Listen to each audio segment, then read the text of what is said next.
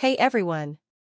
Today let's quickly understand the difference between suspension and emulsion with easy examples. What is a suspension? A suspension is a heterogeneous mixture where solid particles are dispersed in a liquid but do not dissolve.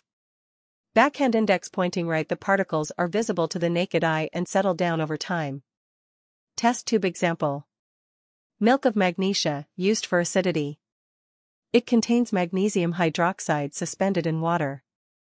Pushping you'll notice a thick white layer at the bottom, you need to shake well before use.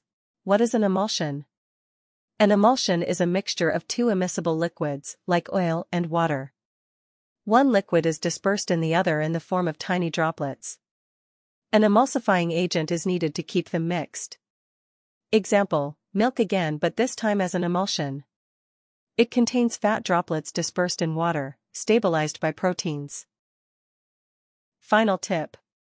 If it settles, it's likely a suspension. If it separates into layers, it might be an emulsion.